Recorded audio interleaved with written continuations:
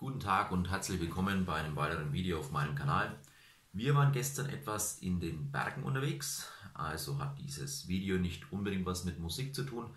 Die Hintergrundmusik ähm, bei diesem Video stammt von mir.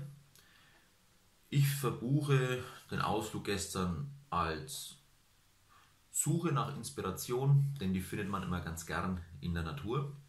Wir sind gestern vom Tatzelwurm Parkplatz hoch zum Brünnsteingipfel über den Dr. Julius Meyer Steig ist ein einfacher Klettersteig, teilweise etwas ausgesetzt.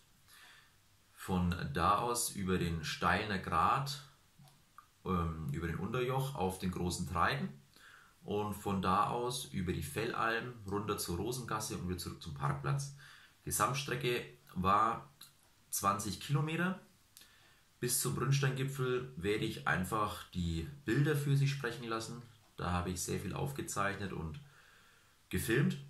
Hm, ab dem Brünnsteingipfel werde ich das Ganze etwas kommentieren, damit die Route verständlicher ist. Viel Spaß mit dem Video.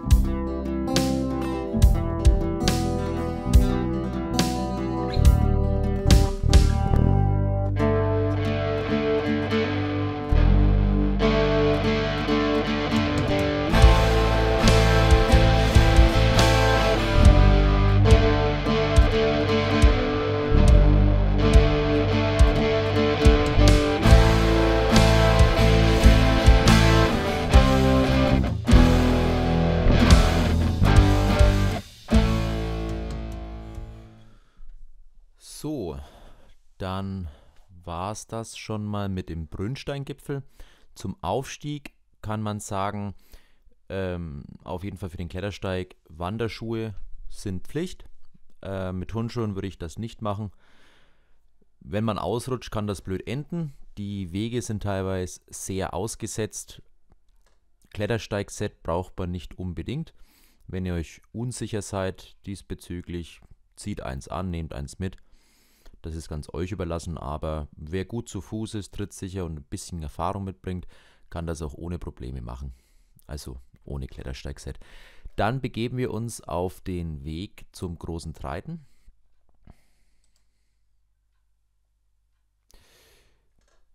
Hier läuft man dann diesen Feldweg entlang. Hier nochmal ein Blick aus dem Brünnsteingipfel. Und oberhalb dieses Weges geht es dann mal links gefühlt einfach auf eine Wiese. Genau, jetzt sind wir auf diesem Weg. Hier links hat man kurz gesehen die äh, Wegmarkierungen. Man muss einfach die Augen offen halten, dass man den Weg gut findet. Ist nicht immer so leicht zu erkennen, aber mit ein bisschen logischem Denken und offenem Auge kommt man dann da durch. Das Gelände ändert sich dann mit der Zeit, es wird etwas steiniger und steiler. Aber bis zu diesem Punkt alles kein Problem. Nur leichte Steigung und natürlich Augen offen halten, dass man nicht stolpert oder ausrutscht und immer die Wegmarkierungen im Blick behalten. Das Risiko wäre schon da, dass man sich versteigt, wenn man da etwas nachlässig ist. Nachlässig ist. Nach einer Weile kommt man dann hier an diesen Anstieg. Hier geht es dann hoch auf äh, den Grat. Das ist schon sehr anstrengend. Wir waren gegen 1 Uhr etwa an dieser Stelle. Sonne prallt voll rein, kein Schatten mehr. Ähm, muss man einfach, ja, aus seinem Körper hören, langsam tun.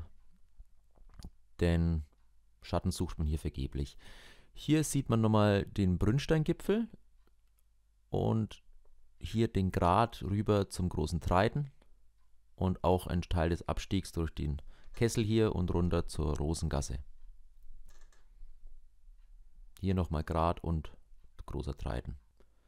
Das ist die Sicht vom großen Treiten runter. Man sieht den Grat, den wir entlang gelaufen sind. Gipfelkreuz. Und ja, herrliche Aussicht, keine Frage. Oh, das ist dann auf der Fellalm schon beim Abstieg. Der weitere Weg geht dann ein Stück nach vorne dann rechts runter und über ein Schotterfeld runter zur Rosengasse. Wenn man bei der Rosengasse ist, geht es über Straßen und Feldwege weiter. Da hat man dann das Schlimmste überstanden.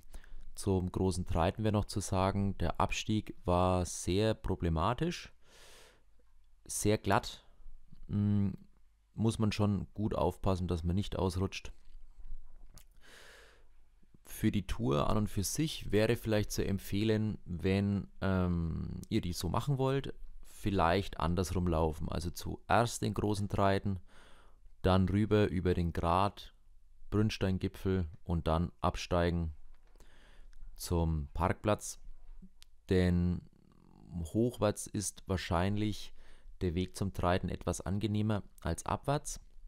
Aber nichtsdestotrotz muss man einfach sagen, der große Treiten, der Aufstieg, das findet man auch überall im Internet. Über Rosengasse ist einfach sehr rutschig. Wird auch oft empfohlen, dass man äh, drei Tage wartet, nachdem es geregnet hat, um den Gipfel zu besteigen. Aber es ist machbar. Konzentriert bleiben, guten Tritt suchen und dann kommt man da durch. Ich hoffe, das Video hat euch etwas gefallen. Und ich verlinke euch noch zwei Videos und dann wünsche ich euch noch ein schönes Wochenende.